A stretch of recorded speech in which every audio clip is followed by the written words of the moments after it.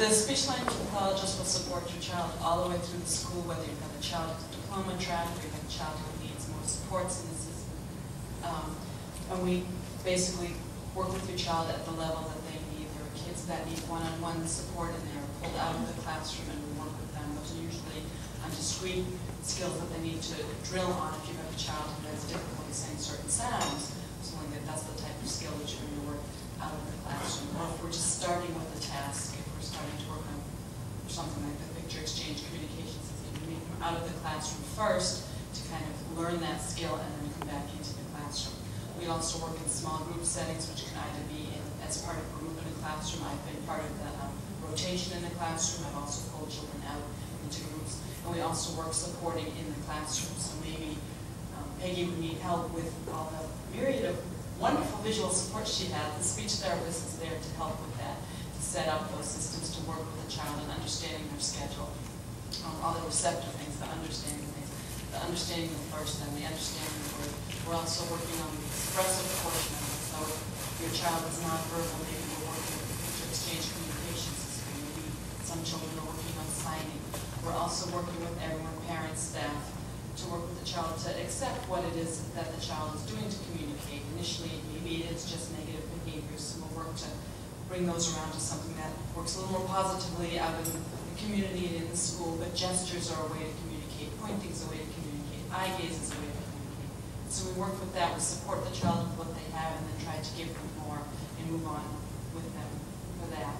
Um, the other hat that I wear is the Adaptive Technology Assessment Center, and there are two of us that work there. I do what they call the augmentative alternative communication portion for the children who are nonverbal or minim minimally verbal. We come out and we do assessments. That can be asked for by a parent, it can be asked for by staff. It needs to be formally asked for by the staff, but a parent can initiate. We come out and do evaluations, and we see how the child is doing. We run through a program with them. We see, you know, do they show interest in other things?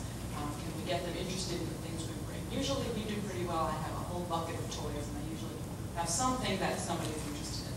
Then we figure out, can they understand that this photograph means that toy? And if I give you the photograph, can I get that toy? Then move to symbols. Do we understand that the symbols mean that toy? And if I give you the symbol, which looks a little different, I'll get that toy. Then we move to what we call our light tech system, so that's the picture exchange communication system, things called flip and talks, topic boards. Can they scan an array of pictures and point to the one they want, or give you a card for what they want? We go from there to the electronic devices, and there's a whole bunch of them, is what they call the static display devices. I can't talk, my speech therapist, it's terrible.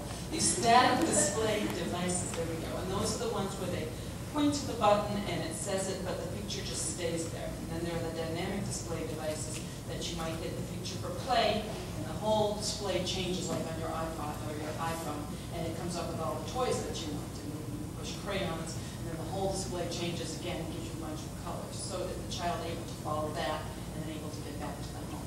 So that's what the AAC portion of the Adaptive Technology Assessment Center is. We also have an assistive technology portion, and that we do assessment for their children's access to curriculum. Is the child having difficulty writing? So if they are, is it motoric thing? Will they do better with maybe keyboard than a pencil? Will they do better speaking? And if their speech is good, there's a way to just speak it, like um, the businessmen used to do when their secretaries got taken away. That technology has now been brought for our kids, which is really nice.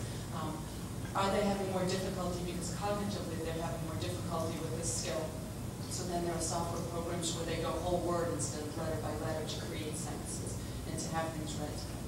So those are the two things. I'll be happy to answer any questions later. The speech therapist and adaptive technology assessments.